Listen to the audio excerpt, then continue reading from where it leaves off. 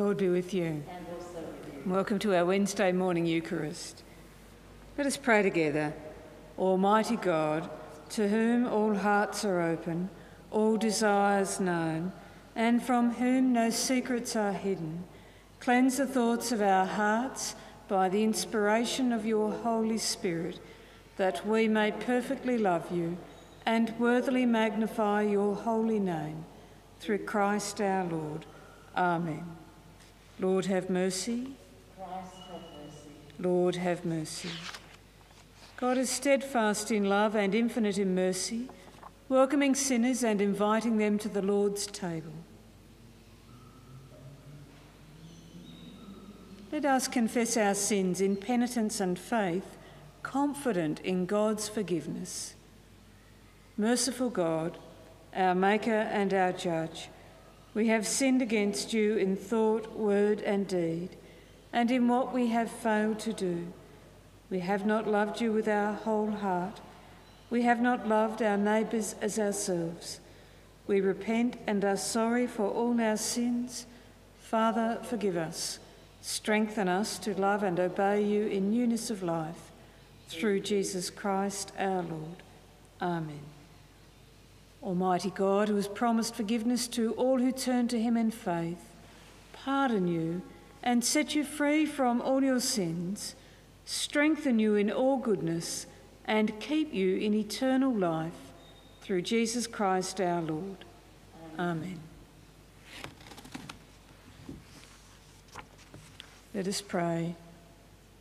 Almighty God, whose sovereign purpose none can make void, give us faith to be steadfast amid the tumults of this world, knowing that your kingdom shall come and your will be done to your eternal glory, through Jesus Christ our Lord, who lives and reigns with you and the Holy Spirit, one God, now and forever. Amen. Would you be seated for the readings?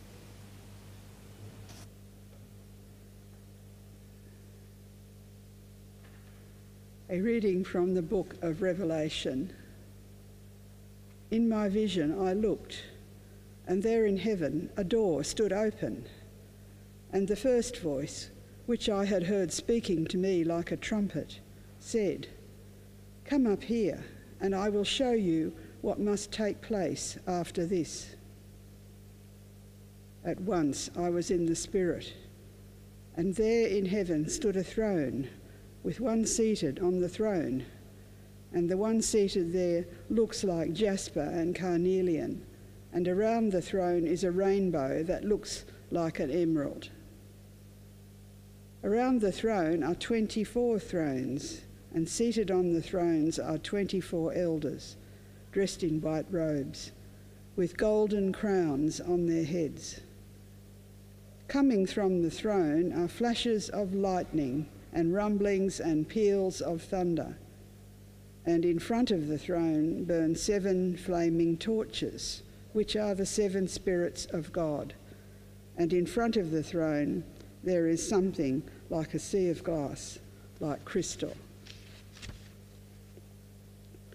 Around the throne and on each side of the throne are four living creatures, full of eyes in front and behind the first living creature like a lion, the second living creature like an ox, the third living creature with a face like a human face, and the fourth living creature like a flying eagle.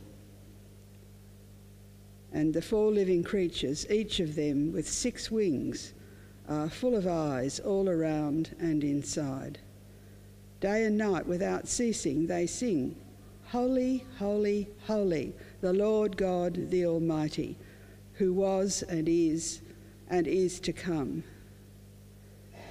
And whenever the living creatures give glory and honour and thanks to the one who is seated on the throne, who lives for ever and ever, the 24 elders fall before the one who is seated on the throne and worship the one who lives for ever and ever. They cast their crowns before the throne, singing, you are worthy, our Lord and God, to receive glory and honour and power, for you created all things, and by your will they existed and were created. The word of the Lord. We make the response to the verses of the psalm Holy, holy, holy Lord, mighty God. Holy, holy, holy Lord, mighty God. Praise God in his sanctuary. Praise him in his mighty firmament. Praise him for his mighty deeds. Praise him according to his surpassing greatness. Holy, holy, holy Lord, mighty God. Praise him with trumpet sound. Praise him with lute and harp. Praise him with tambourine and dance. Praise him with strings and pipe. Holy, holy, holy Lord, mighty God. Praise him with clanging cymbals. Praise him with loud clashing cymbals. Let everything that breathes praise the Lord. Holy,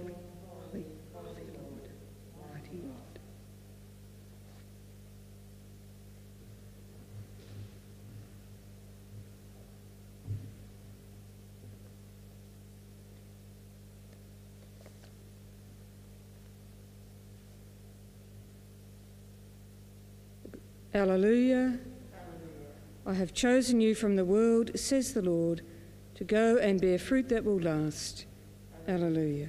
The Gospel of our Lord Jesus Christ according to Luke, chapter 19, beginning at the 11th verse. Glory to you, Lord Jesus Christ. As the crowd was listening, Jesus went on to tell a parable because he was near Jerusalem and because they supposed that the kingdom of God was to appear immediately. So Jesus said, A nobleman went to a distant country to get royal power for himself and then return. He summoned ten of his slaves and gave them ten pounds and said to them, Do business with these until I come back. But the citizens of his country hated him and sent a delegation after him, saying, We do not want this man to rule over us. When he returned, having received royal power, he ordered these slaves to whom he had given the money to be summoned so that he might find out what they had gained by trading. The first came forward and said, Lord, your pound has made ten more pounds. The nobleman said to him, Well done, good slave. Because you have been trustworthy in a very small thing, take charge of ten cities. The second came, saying, Lord, your pound has made five pounds. The nobleman said to him, And you, rule over five cities. Then the other came, saying, Lord, here is your pound. I wrapped it in a piece of cloth, for I was afraid of you, because you are a harsh man. You take what you did not deposit and reap what you did not sow. The nobleman said to him, I will judge you by your own words, you wicked slave. You knew, did you, that I was a harsh man, taking what I did not deposit and reaping what I did not sow? Why then did you not put my money in the bank? Then when I returned, I could have collected it with interest. The nobleman said to the bystanders, Take the pound from him and give it to the one who has ten pounds. And they said to him, Lord, he has ten pounds. The nobleman said, I, I tell you, to all those who have, more will be given, but from those who have nothing, even what they have will be taken away. But as for these enemies of mine who did not want me to be king over them, Bring them here and slaughter them in my presence. After Jesus had said this, he went on ahead, going up to Jerusalem. For the gospel of the Lord, praise to you, Lord Jesus Christ. In the name of God, Father, Son, and Holy Spirit. Amen. Said at morning prayer, this reading's becoming a bit of a theme. We had it um, Sunday for the, the, the Matthew, Matthew's version, Sunday at the Eucharist. Um, we had the Matthew version in morning prayer, and now we have the Luke version. And it's one of those times where Luke's version is quite extraordinary. um, in some of the uh, surrounding detail of the parable. This is really uh, an end times parable. Jesus is on his way to Jerusalem, on his way to crucifixion. Uh, in Matthew's version, he's already in Jerusalem. It's just it's one of the last parables, whichever gospel you read. Um, and in a sense, both Matthew and Luke are retelling a parable Jesus tells, but translating it for their community. And so it sounds it can sound like quite different parables because of the different context. The clue that it's an end times parable, hence the extraordinary imagery, um, comes in things like uh, a nobleman went to a distant country to get royal power for himself and return.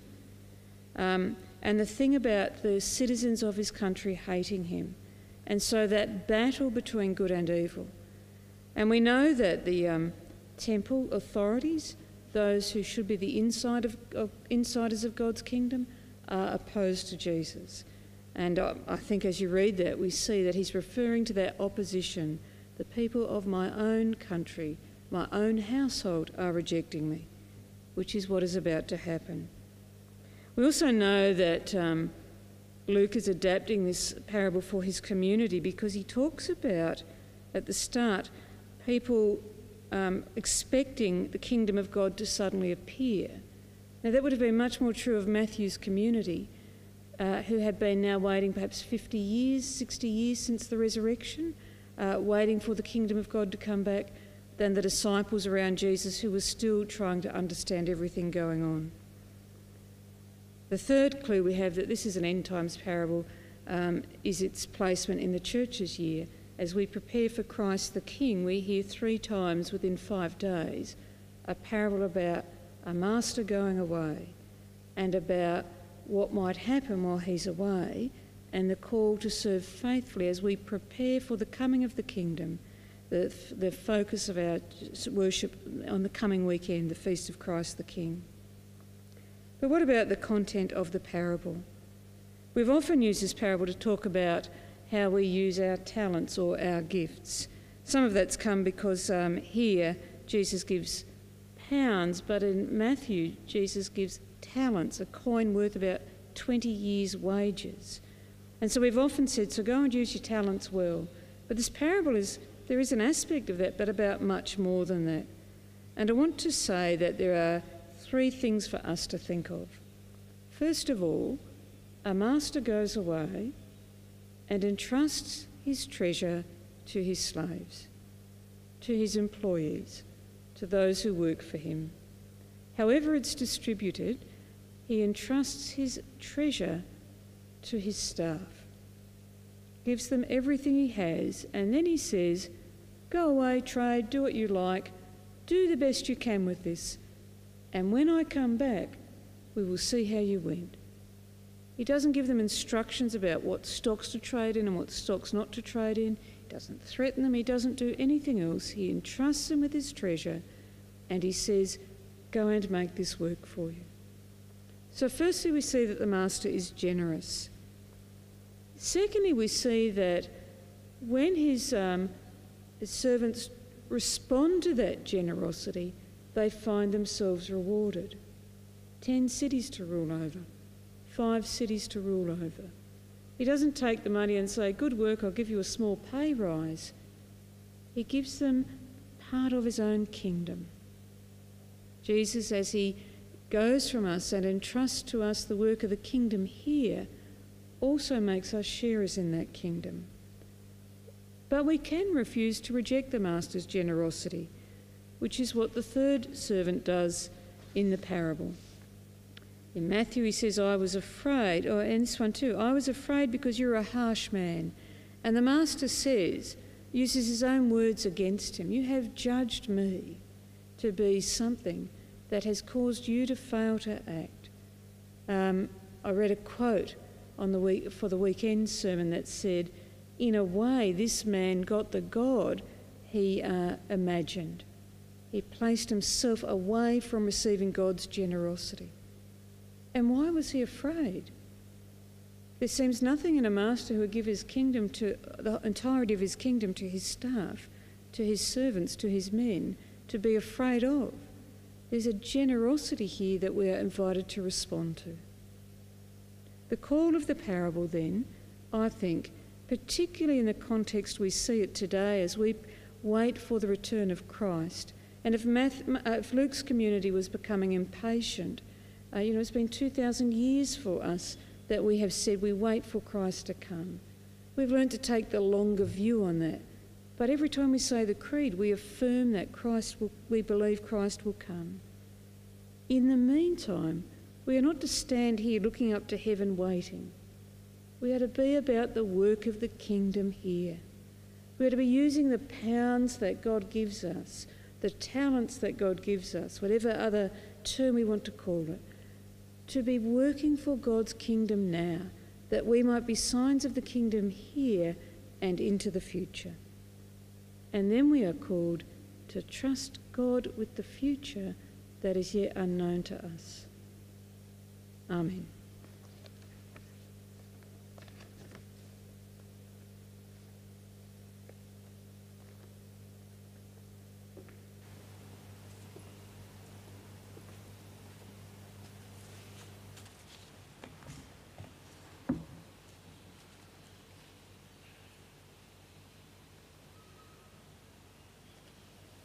Let us pray for the world and for the church. Gracious God, we entrust our lives to you. And we grant that, and we pray that you would grant that we will be faithful in all that we do, and that by your grace we might be signs of your kingdom of love and generosity here in this place. We pray for your worldwide church as it seeks to follow the call to be faithful to you and your, your people here. We pray for the Archbishop of Canterbury, for the Australian Anglican Church and our Primate Geoff, for the church in this diocese, for Peter, our Bishop. Continue to guide us each day as we seek to discern your will. Lord, in your mercy, we pray, Father, for the world. So many places deep in the grip of coronavirus, heavy lockdown, high infection rates, high deaths. We pray for people everywhere traumatised by this virus. And for world leaders as they try and steer us through. We pray for the leaders of our country, for Scott, our Prime Minister, and Gladys, our Premier, and those who advise them. Lord, in your mercy, we pray for our communities, our families, our neighbours, our friends, those we work alongside those we spend our time with this day. We pray for them.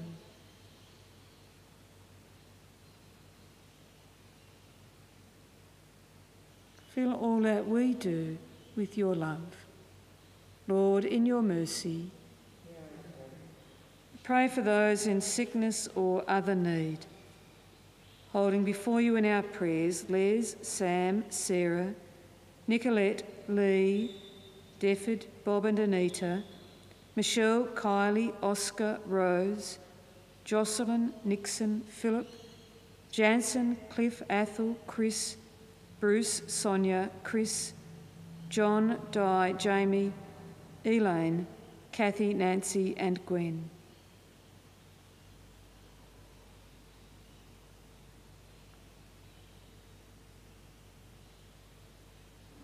Bring them healing, peace, and grace, each according to their needs.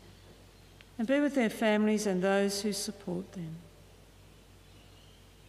Lord, in your mercy,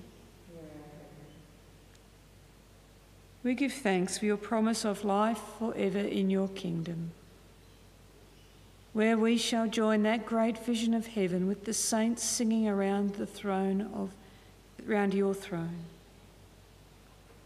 We commend to your loving care Phyllis Mary Gallagher.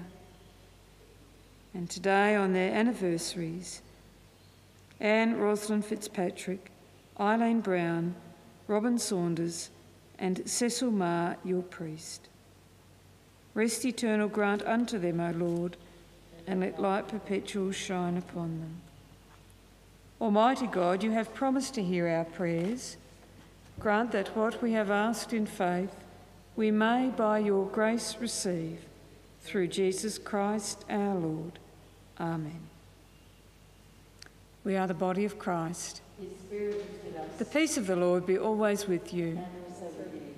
Just um, indicate to one another a sign of peace.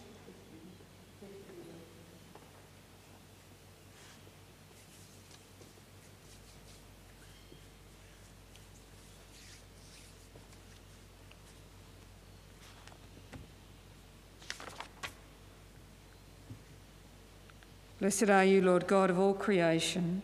Through your goodness we have this bread to offer, which earth has given and human hands have made. It will be for us the bread of life. Blessed be God forever. Blessed are you, Lord God of all creation. Through your goodness we have this wine to offer, fruit of the vine and work of human hands. It will be our spiritual drink. Blessed be God forever.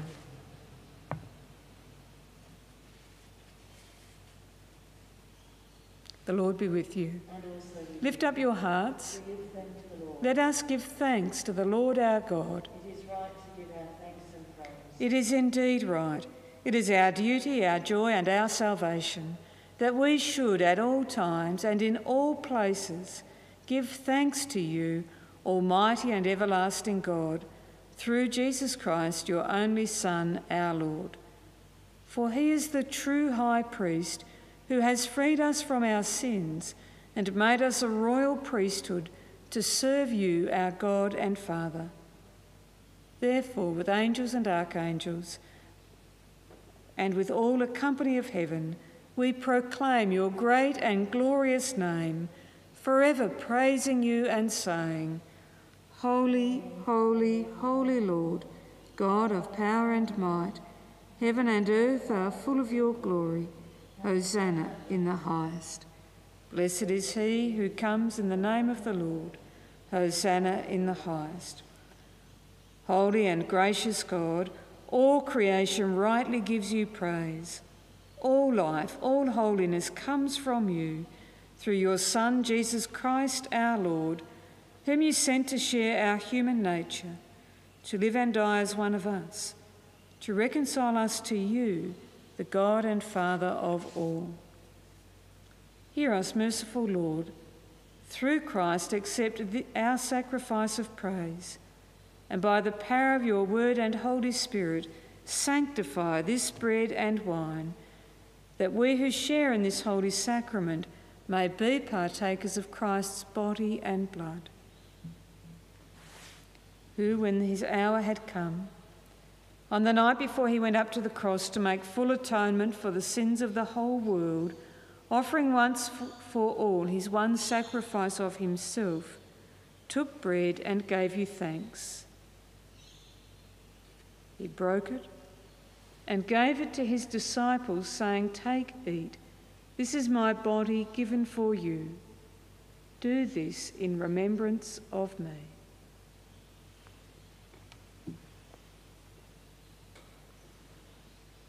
In the same way, after supper, he took the cup and gave you thanks. He shared the cup with them, saying, Drink from this, all of you. This is my blood of the new covenant, shed for you and for many for the forgiveness of sins. Do this as often as you drink it in remembrance of me.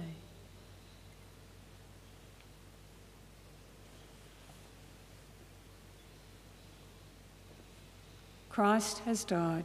Christ is risen. Christ will come again. Therefore, in obedience to his command, we commemorate and celebrate his saving passion and death, his mighty resurrection and ascension into heaven, and we eagerly await his coming again in glory. We thank you that by your grace alone you have accepted us in Christ And here we offer you this spiritual sacrifice, holy and acceptable in your sight. Through Christ, receive this our duty and service, and grant that we who eat and drink these holy gifts may by your Holy Spirit be one body in Christ and serve you in unity and peace. In your grace and mercy, bring us to the joy of your eternal kingdom with all a company of the redeemed. May we praise you in union with them and give you glory through your Son, Jesus Christ, through him, with him, in him. In the unity of the Holy Spirit, we worship you, Father eternal, in songs of never ending praise. Blessing and honour and glory and power are yours forever and ever. Amen.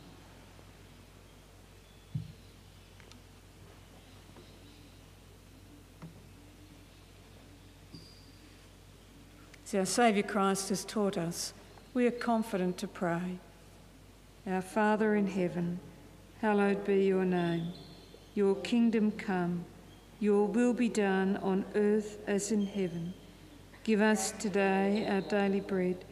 Forgive us our sins as we forgive those who sin against us. Save us from the time of trial and deliver us from evil. For the kingdom, the power, and the glory are yours, now and forever. Amen. We break this bread to share in the body of Christ. We who are many are one body, for we all share in the one bread. Jesus, Lamb of God, have mercy on us. Jesus, bearer of our sins, have mercy on us. Jesus, Redeemer of the world, grant us your peace. The gifts of God for the people of God. The body of Christ, keep me in eternal life.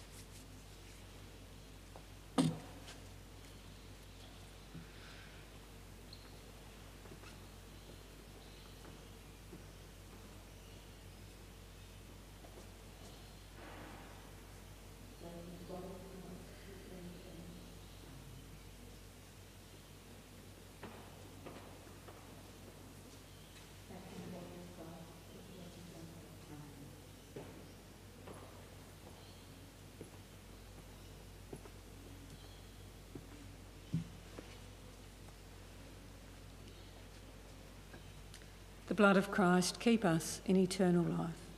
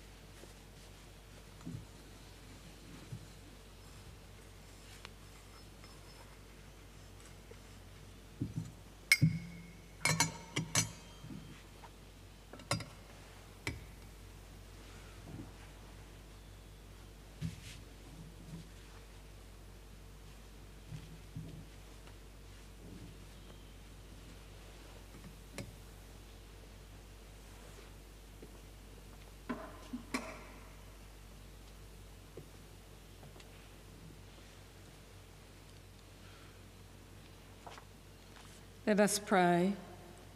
Gracious God, we thank you that in this sacrament you assure us of your goodness and love. Accept our sacrifice of praise and thanksgiving, and help us to grow in love and obedience, that we may serve you in the world and finally be brought to that table where all your saints feast with you forever.